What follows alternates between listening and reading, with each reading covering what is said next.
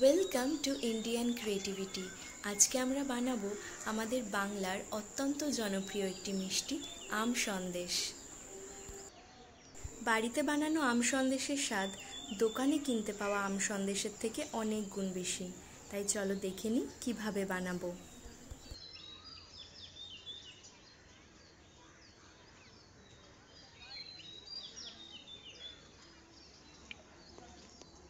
একটি পাত্রের মধ্যে দুধটা ভালোভাবে ফুটিয়ে নেব আর পাঁচ থেকে সাত মিনিটের জন্য একটু ঘন করে নেব। এখানে দুধের পরিমাণ রয়েছে পাঁচশো মিলিলিটার। দুধটা একটু ঘন হয়ে এলে এর মধ্যে দিয়ে দিচ্ছি দুই টেবিল চামচ ক্যালসিয়াম ল্যাকটেট পাউডার বা ছানা কাটানোর পাউডার। যদি এই পাউডার অ্যাভেলেবেল না থাকে, সেই ক্ষেত্রে আপনারা পাতিলেবুর রস দিয়েও ছানা কাটাতে পারেন।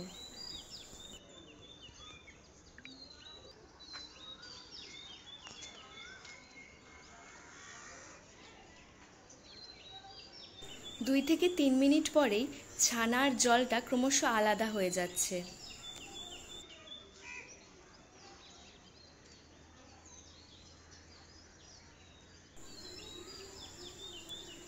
এরপর আমরা একটি ছাঁকনির সাহায্যে ছানা থেকে জলটা ভালোভাবে বের করে নেব।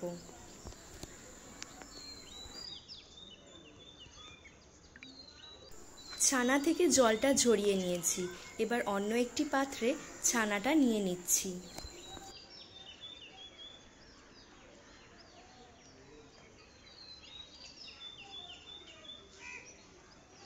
এরপর আমরা পাকা আম দিয়ে একটা ম্যাঙ্গো পাল্প তৈরি করব।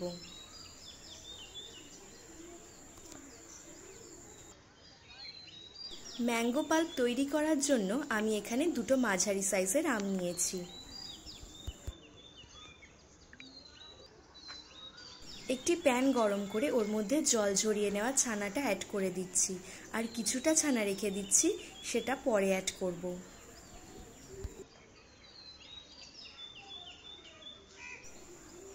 তিন থেকে চার মিনিটের জন্য ছানাটা একটু কড়াইতে নাড়াচাড়া করে নেব।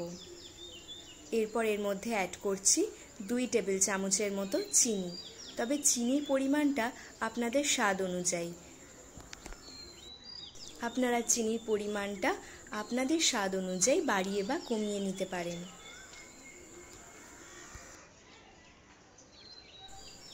এরপরে বাকি ছানাটা এর মধ্যে দিয়ে দিচ্ছি।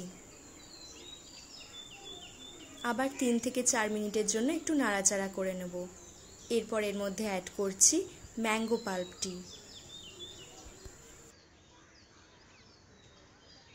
এই সময় ফ্লেমটা কিন্তু সবসময় লো টু মিডিয়ামে থাকবে। না হলে কিন্তু এটা পুড়ে যাওয়ার একটা প্রবল সম্ভাবনা থাকে। আর পুড়ে গেলে এর টেস্টটা একদম ভালো আসবে না।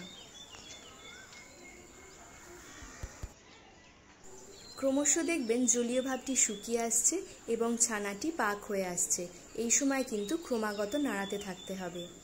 এর মধ্যে অ্যাড করছি একটু কাজু আর কিশমিশ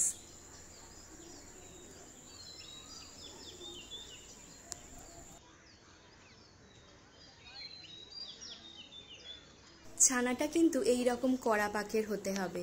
না হলে কিন্তু সন্দেশের সঠিক স্ট্রাকচার আপনি দিতে পারবেন না। আমি এখানে চৌকো ধরনের সন্দেশ গড়ব। তবে আপনারা আপনাদের পছন্দ মতো আকৃতি দিতে পারেন। চাইলে দিতে পারেন কাঁচাগোল্লা আকৃতির অথবা বরফি।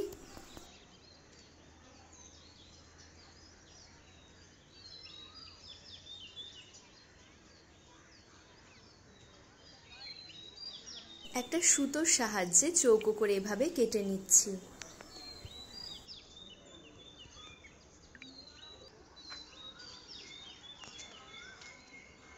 তৈরি হয়ে গেল আমাদের আম সন্দেশের আকৃতি। এবার পালা সুন্দর করে সাজানোর। আমি এখানে আমন্ড বাদাম আর কাজু বাদামের কুচি দিচ্ছি। আর ওপর থেকে দিচ্ছি একটা করে কিশমিশ।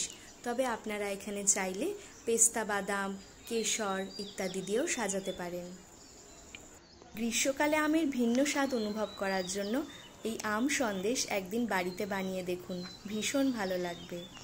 ভিডিও ভালো লেগে থাকলে আমাদের ইন্ডিয়ান ক্রিয়েটিভিটি চ্যানেলকে প্লিজ সাবস্ক্রাইব করুন লাইক করুন শেয়ার করুন কমেন্ট করতে ভুলবেন না। ফিরে আসব নতুন ভিডিও নিয়ে। ধন্যবাদ।